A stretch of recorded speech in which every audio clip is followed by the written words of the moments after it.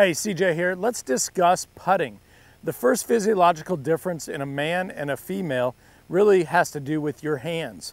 Men, we have this fatty part of this hand here, all right? Women, you do not. So we really need to discuss that and understand how our putting grip will differ.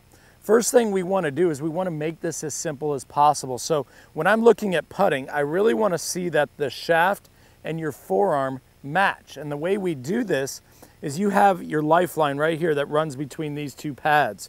Well, we want to set the putter grip right in that pad. So when I stick my left arm out, you can see how the shaft and the forearm match. What we're going to do here is we're just going to stick our index finger up in the air and we're going to slide our right hand underneath so both thumbs are down the shaft. When I turn this way, you can see that both forearms match that shaft.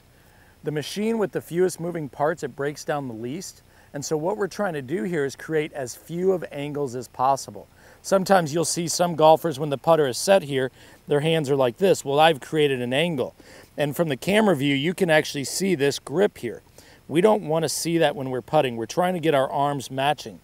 So from a female perspective, you need to understand that the grip needs to be in the lifeline. Let's now discuss the posture. And this is probably one of the biggest faults I see amongst females is when you set up here, you stand way too tall.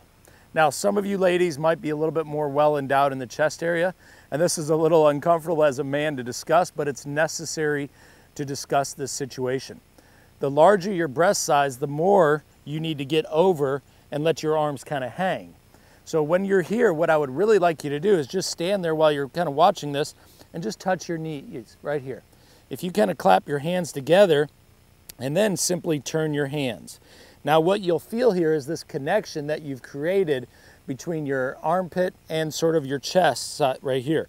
So that's, this, that's the connection we're trying to get with our putting. We're kind of squeezing our elbows together, if you will. That allows us to rock our shoulders back and through. When I stand nice and tall, like this, it allows my body to work, and if you will, your chest will get in the way. So again, understand that the size that you, your chest size here will make a big difference in how you, you approach this. But again, bend over and touch your knees. Let your arms kind of hang and then squeeze your arms in so that my forearms are hanging here. Now all I've got to simply do is rock my shoulders back and through without moving my body. Again, the key here, these are the fundamentals to putting. Number one, grip. Get the club in the lifeline. If you can do that, it will take away a lot of your wrist movement. Number two, to get rid of body movement, we need to adjust your posture so that way you can get bent over and your arms can just hang here, kind of like a monkey, if you will. Then bring your arms in and close this gap in your armpit area. When you do that, your arms can stay connected. You can allow yourself to hit the putt without a whole lot of body movement.